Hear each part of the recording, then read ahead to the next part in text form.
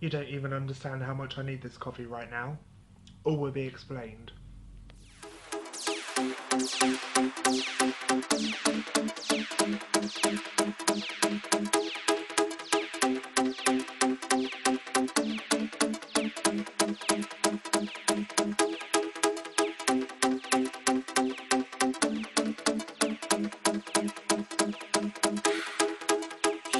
Hello and welcome to Bookstation and welcome to a Thursday Tales and unboxing.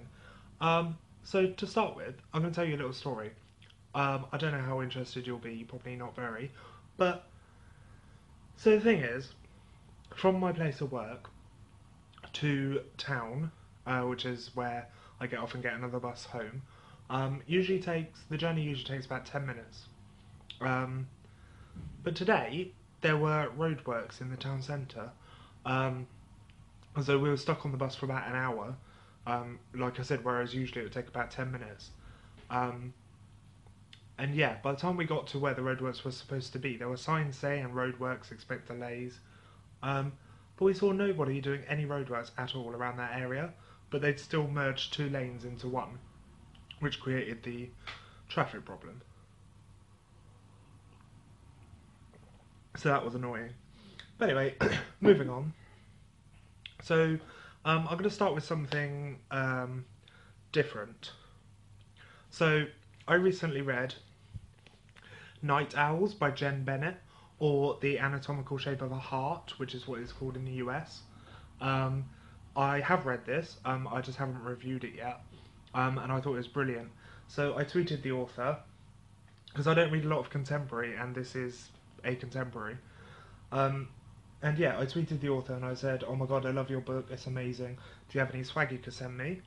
So she sent me a little postcard, but it is signed. It says to Lee at the top, and then there's her signature at the bottom.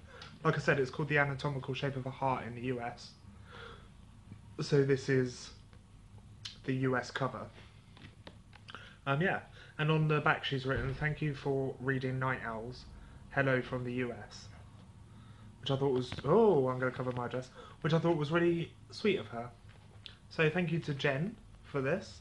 I will be tweeting uh, a picture of it and thanking you on Twitter.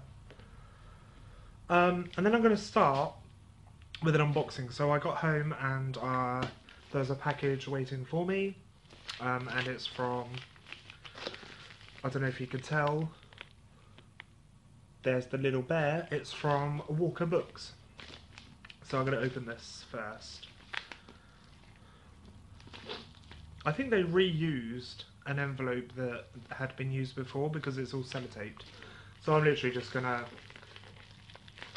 Okay, I'm not going to rip it. There's a little tiny tear at the top here, so... I think I know what this is. And if it is what I think it is, I am very excited.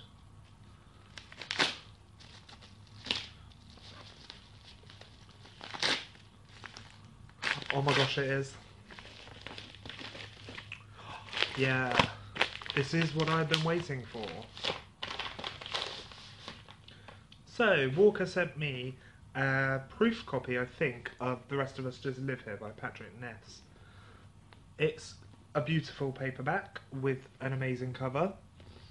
Um, yeah, and this is basically, you know, you read all those stories about um, people who become heroes of stories and stuff like this. Well, this is the story of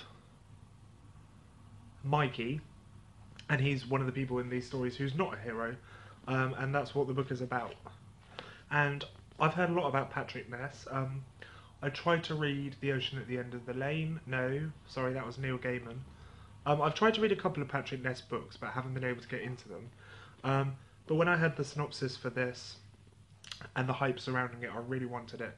So I emailed my contact at Walker and he said he would send me a copy, and he has, and I'm very excited to read it. It says not everyone has to be the chosen one, the one who's supposed to fight the zombies or the soul eating ghosts or whatever this new thing is with the blue lights and the death. What if you were Mikey, who just wants to graduate and go to prom before someone goes and blows up the high school again? And what if there are problems bigger than this week's end of the world and you just have to find the extraordinary in your ordinary life? even if your best friend might be the god of mountain lions. So I've heard that Patrick Ness's writing style is a bit weird, but it's fine. I don't mind. I like a bit of weird. So yeah, thank you to Walker Books for sending The Rest of Us Just Live Here to me. I'm very excited to get started with that. Um, yes, and now moving on to the actual Thursday Tales. So the book I'm currently reading is The Walled City by Ryan Graudin. Um, I am just under 100 pages, uh, literally 90 pages, and I just want to start off. Well, actually, yeah, I'm about 90 pages. I should have said it's about 400 pages. Um, I just want to start off by saying this book is amazing. Um, I'm not reading it very quickly because I'm not a quick reader, but what I mean by that is it's so brilliantly written that I don't care how long it's going to take me to read it, even if it takes me five months, which I know it won't. But I mean, like, the writing is just so beautiful that I really don't care how long it's going to take me to read it. I just want to make sure I read it completely, if you see what I'm saying. And yeah, it's just, this book is amazing. Um, it follows three different people's perspectives uh, Dai, Jin, and Mei Yee. Um, and they live in this place called Hak Nam, or the Walled City, um, which is just uh, just next to a rich province, um, or like it's it's based in the back of the book. There are sorry, I'll explain myself. In the back of the book, there are pictures of the author, if I could find them, um, with like models of the place that this book is based on. So basically, Ryan Graudin went to this place in China, um, and there are the remains of this place called the Walled City, um, and nobody knows much about it. Um, but she based the book on what she thought might happen, might have happened in that place. I know that doesn't really make sense, but I will explain more when I've read it and I do my review. But like I said, it's brilliant so far. I'm loving it, um, and yes, so that's what I'm currently reading. So yeah, that is it for today's video. Thank you for watching. Um, let me know if you read The Walled City, if you have, what you thought about it, um, or if you're interested in reading it. Um, and yes.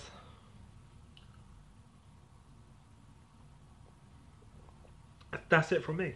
Uh, yeah, thank you for watching. If you liked, please give it a thumbs up. If you wish, you may subscribe. And I will see you again shortly. Goodbye.